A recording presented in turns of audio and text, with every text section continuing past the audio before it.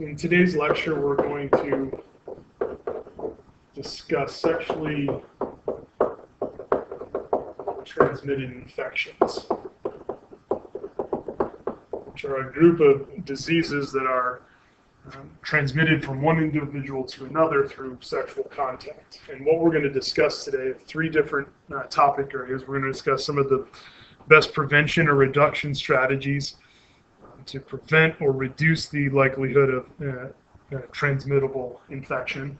We're going to talk a little bit about the, the disease categories, what um, types of things cause sexually transmitted diseases, and then we're going to talk about some of the major STIs that infect the human population. So let's start out today with some of the best prevention or reduction practices that can be applied to sexually transmitted infections.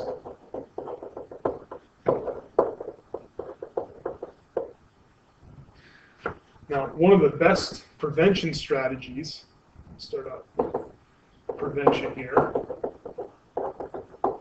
is to be well educated. And hopefully that's what we're achieving today with this lecture is increasing your knowledge about sexually transmitted infections. In addition to being well educated, it's also important to practice abstinence. In fact, abstaining from sexual contact is really the only protective method, the only preventative method for um, reducing the likelihood of transmission of a sexually um, transmitted disease. After you're married, prevention can also be achieved through practice of monogamy with your uninfected spouse.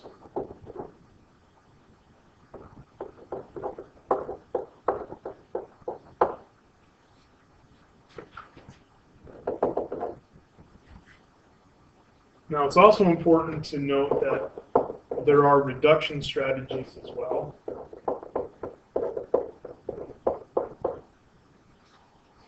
So, some ways that you can, to a reasonable level, reduce the effects of sexually transmitted diseases and infections.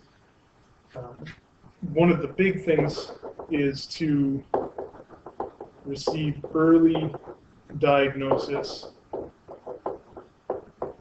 and treatment.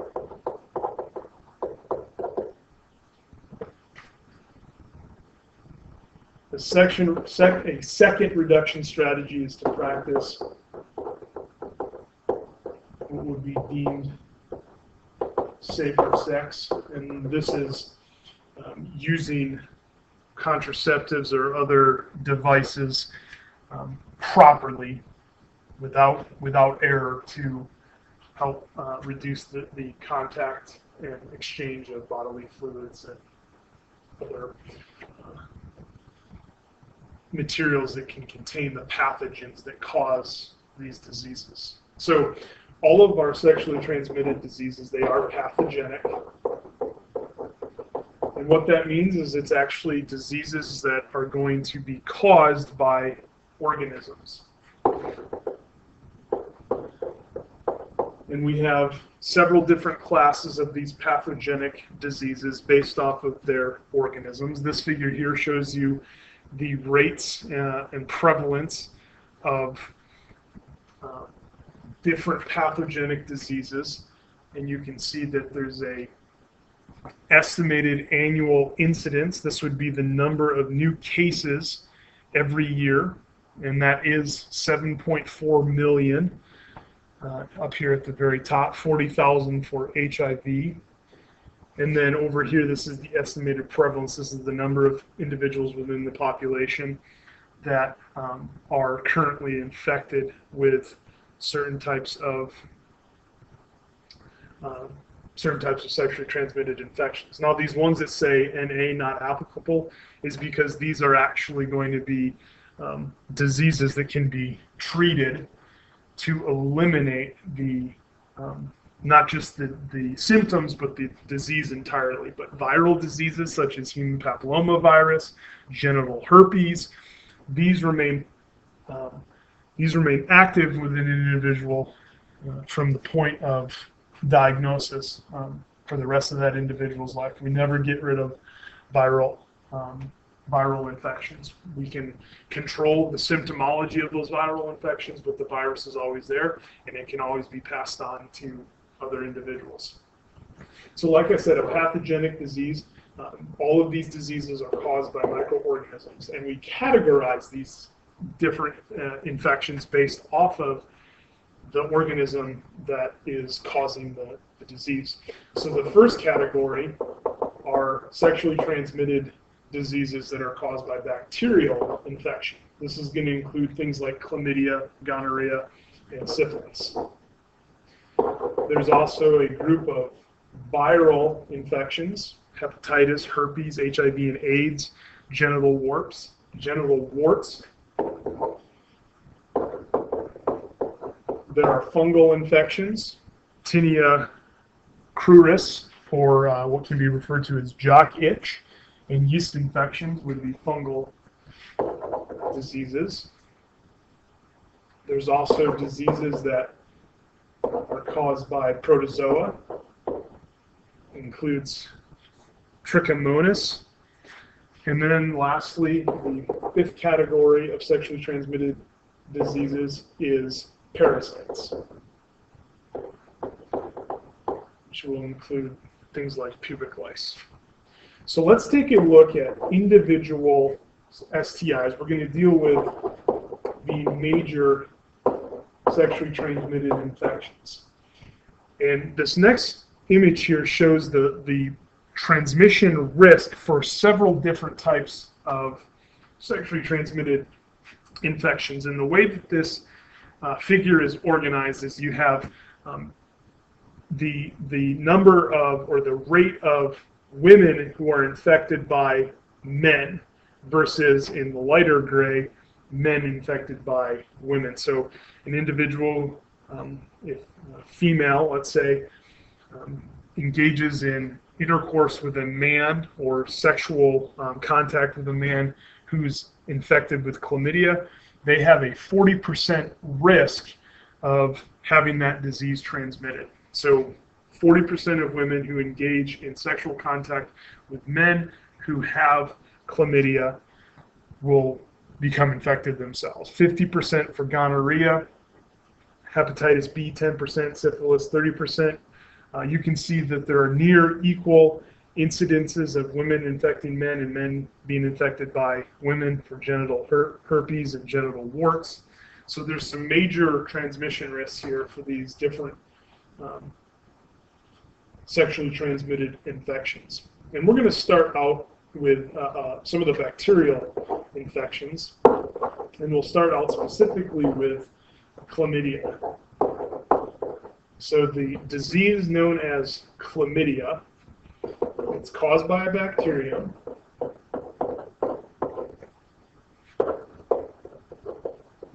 And the specific bacterium is Chlamydia trachomatis.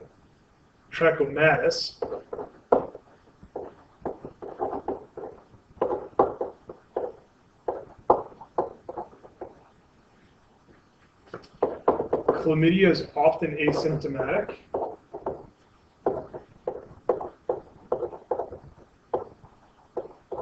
So quite frequently, you don't even know that you have this bacterial infection, but it can lead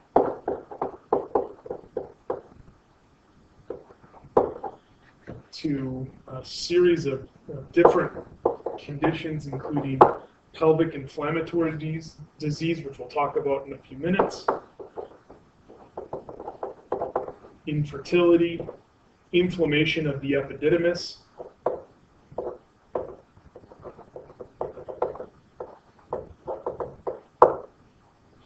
inflammation of the urethra.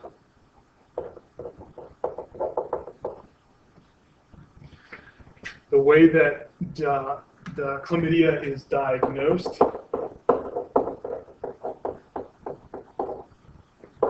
Is through use of a urine test.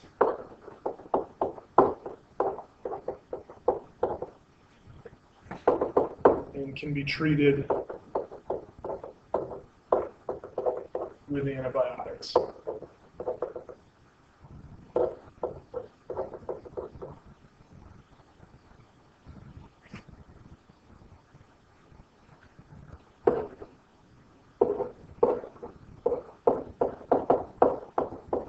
Gonorrhea is another um, very prevalent bacterial infection.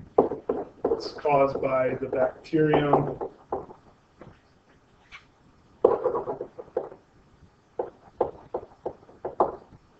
Neisseria gonorrhoeae.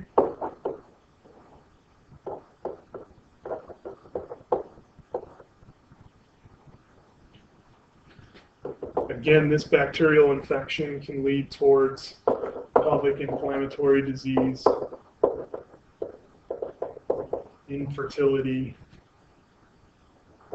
inflammation of the epididymis, of the urethra, can cause rashes, and even arthritis.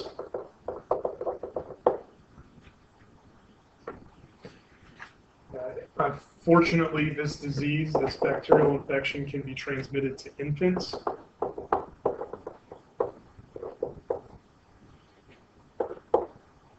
So an individual can be born being exposed to this pathogen, and when they're born exposed to the pathogen, it causes serious eye infections.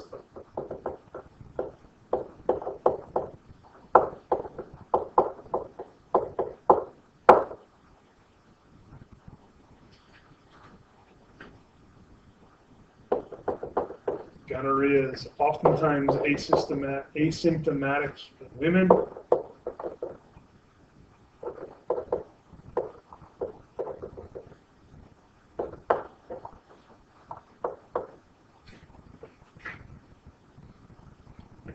Men, lead towards urinary dysfunction and discomfort.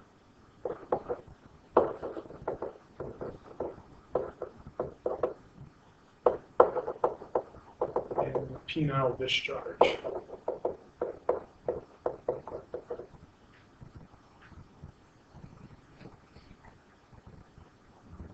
Gonorrhea is also diagnosed with the urine test.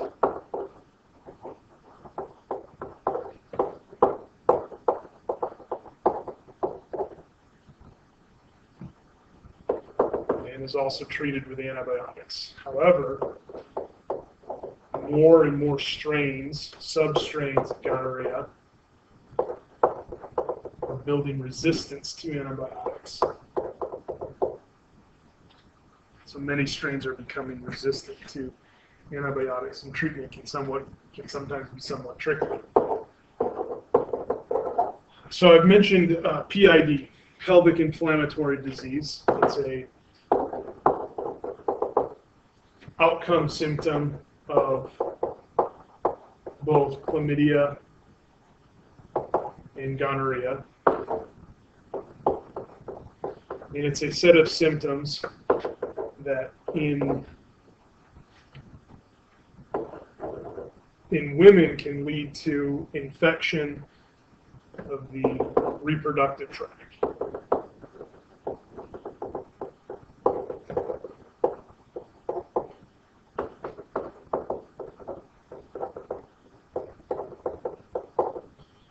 So including the vaginal canal, the cervix, the uterus, the oviducts, and even into the uh, pelvic cavity. I said that chlamydia is often asymptomatic, and gonorrhea, especially in women, is also asymptomatic. And pelvic inflammatory disease will frequently follow untreated gonorrhea or chlamydia.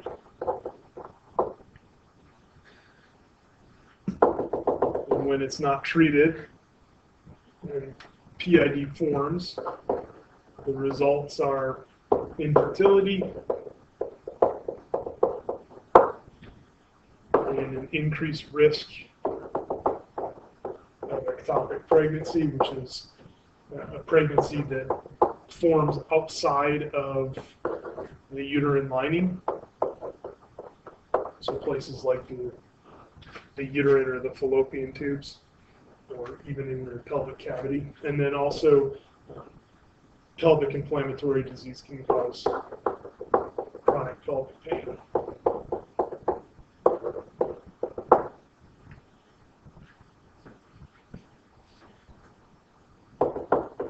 Now, pelvic inflammatory disease can actually be treated with antibiotics by treating the gonorrhea and the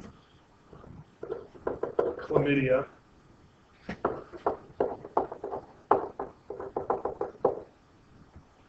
But it may be severe enough to require hospitalization.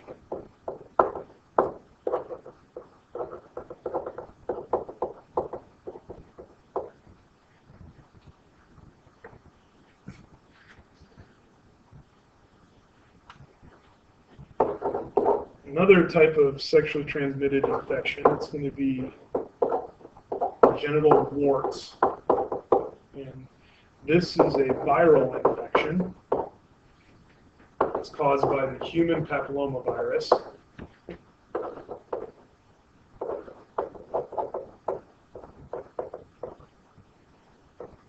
Or HPV.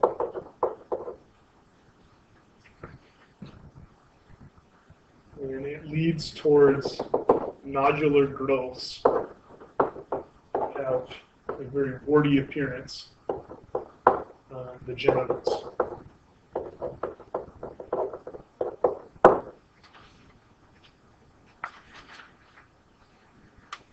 It's estimated that right now in the United States, about 20 million people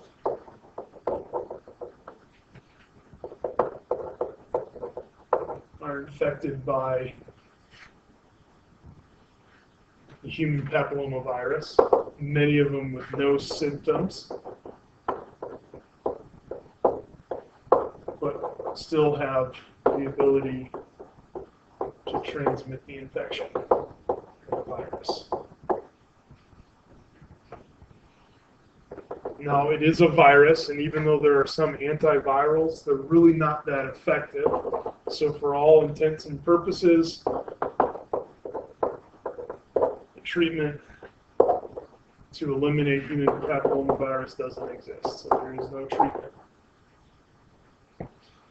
One of the major concerns with human papillomavirus infection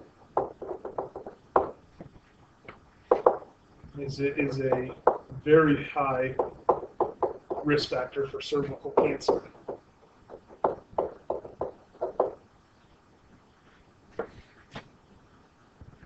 And in fact, so much so that most cases of cervical cancer are considered actually to be as a result of human papilloma virus.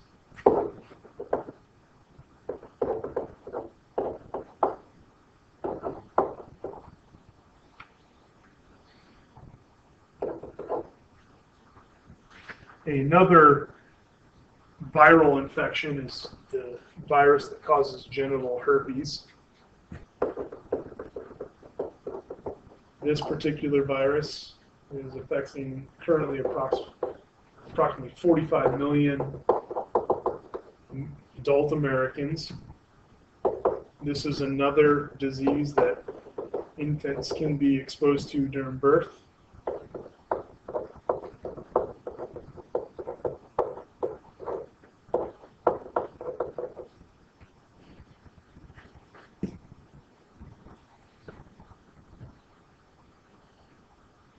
Genital warts is going to be caused by two viruses.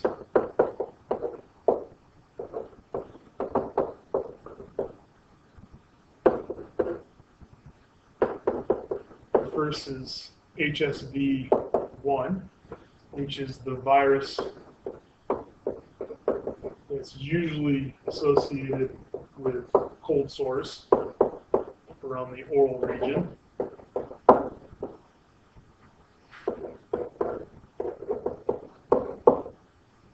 other is HSV2,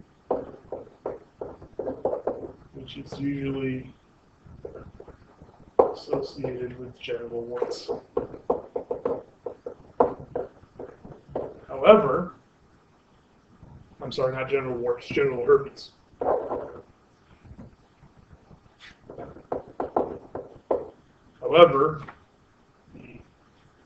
Herpes simplex virus 1 can actually be transmitted to the genital region to form herpes simplex virus 2 to cause genital warts.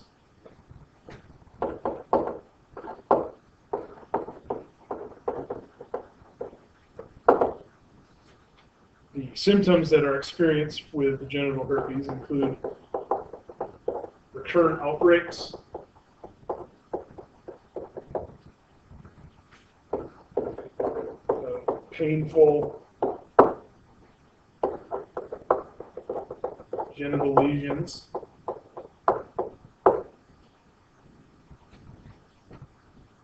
or here too can also be asymptomatic. The disease is diagnosed based off of the symptomology or through a blood test.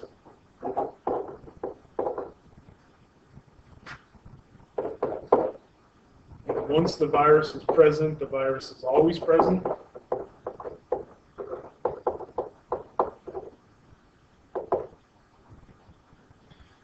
It can be transmitted even in the absence of lesions.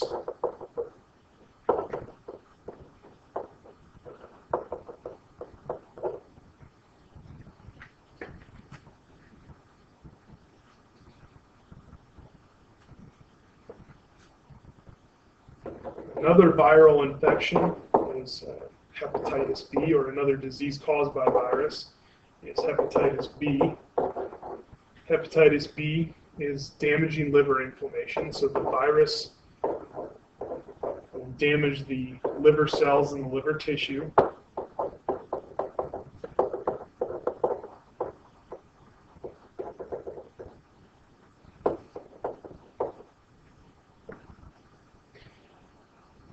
Damage can result to four different outcomes.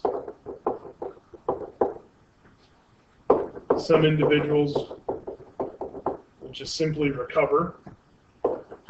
Some individuals become chronic carriers of the virus and pass that on to subsequent sexual partners. Some individuals become infected with chronic liver disease. The fourth outcome, some individuals end up with liver cancer. The symptoms for hepatitis are going to include flu-like illness,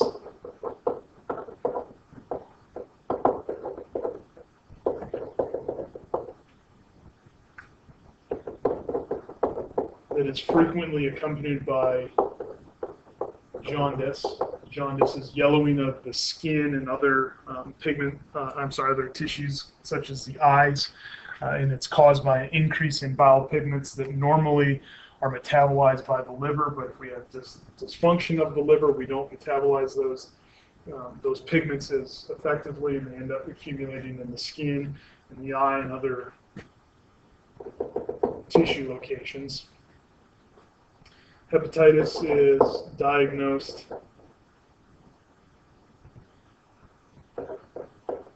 diagnosed with blood tests.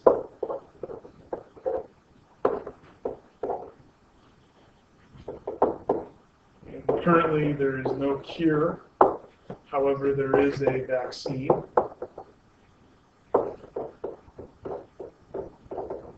So you might be able to get the Hep B or the hepatitis B vaccine which has greatly reduced the prevalence of hepatitis B in our population.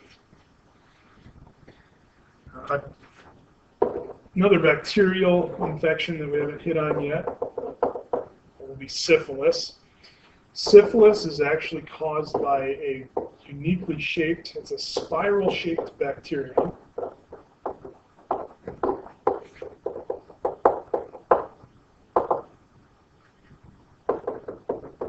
That bacterium is Treponema pal pallidum.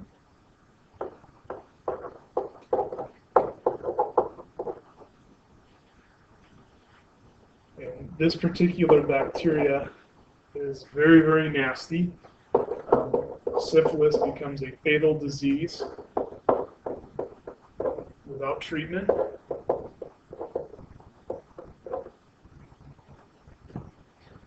And exhibits a progressive symptomology.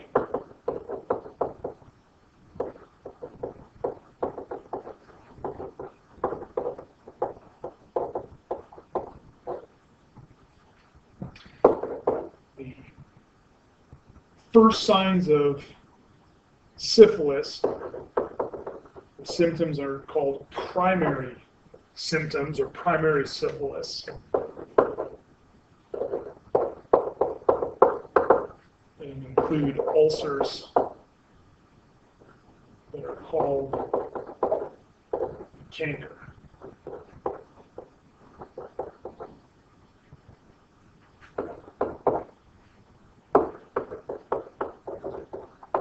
As the disease progresses, it progresses to secondary syphilis.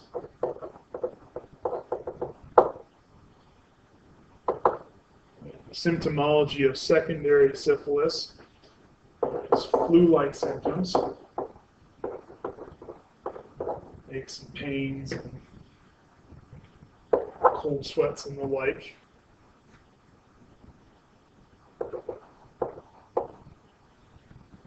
and the individual will also exhibit a skin rash.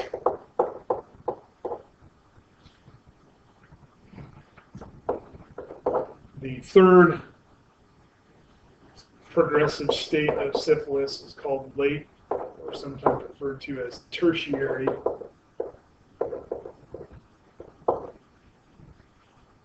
Late or tertiary syphilis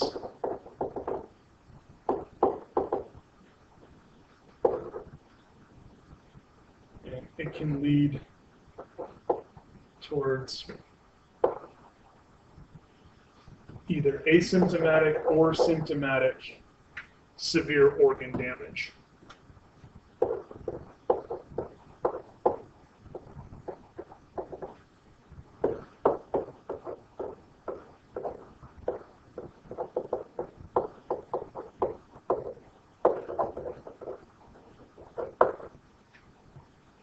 and this usually leads relatively quick on to death of the patient or the individual.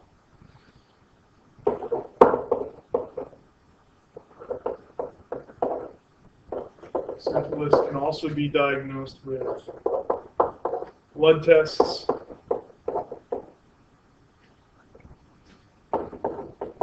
And can be effectively treated with doses of antibiotics.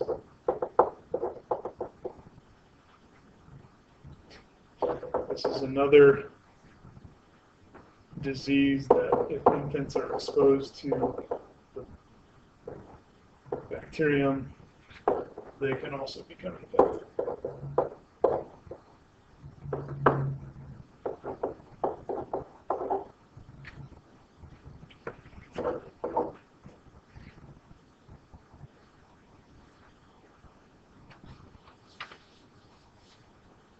The last major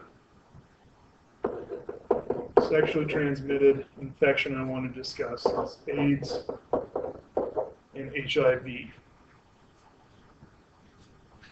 This figure here shows by country and continent and region of the world the prevalence of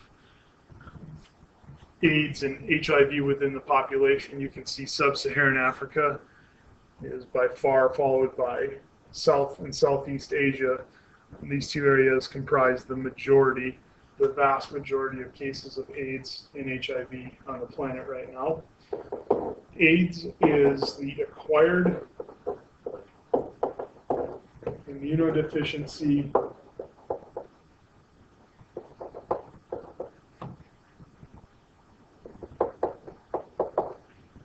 syndrome.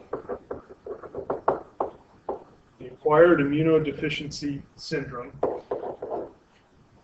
which is caused by HIV. That's a name of a virus. HIV stands for the human immunodeficiency virus.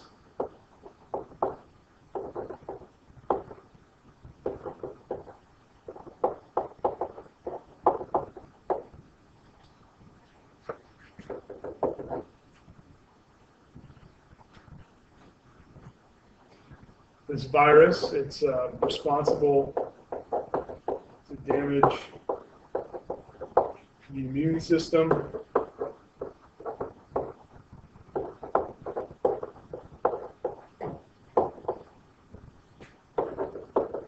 and as it damages the immune system, that virus leads to the symptomology that's known as AIDS. Really, AIDS is a severe HIV infection. There is a pattern that occurs as this damage to the immune system progresses. First, we have a decrease in our white blood cell count. The white blood cells are responsible for much of our immune function. And as our immune function is reduced as we eliminate our white blood cells, we end up with some initial acute illnesses.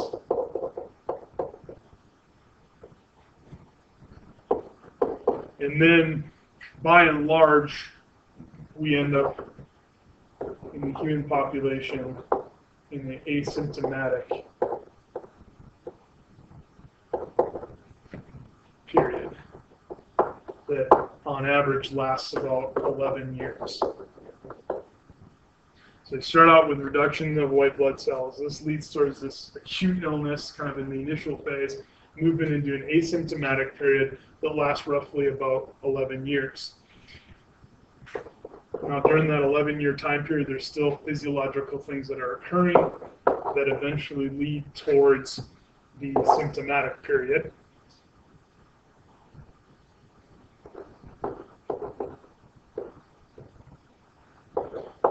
And as those symptoms begin to present, we're now at about 200 white blood cells per microliter down from 10,000. So very low levels of white blood cells. And now everyday infections become very opportunistic.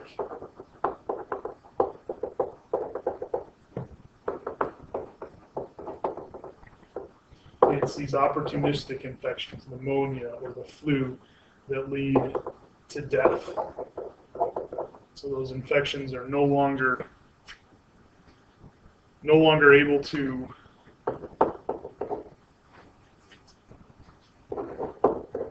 be fought off by a diminished immune system, and so the individual succumbs to those diseases. Diagnosis is through a molecular assay. This molecular assay is used to detect the virus and the, the viral byproducts. What are the treatment strategies for AIDS? It's been shown that some antiviral drugs can be used to disrupt the viral reproduction.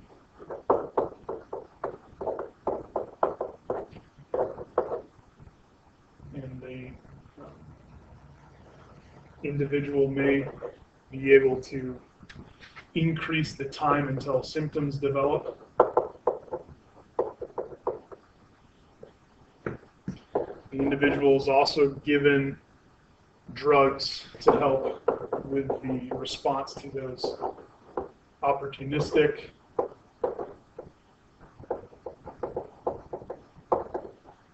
infections. becomes a very costly disease. The treatment and the thing that is probably the most disheartening is it's a 100 percentable, 100% preventable disease.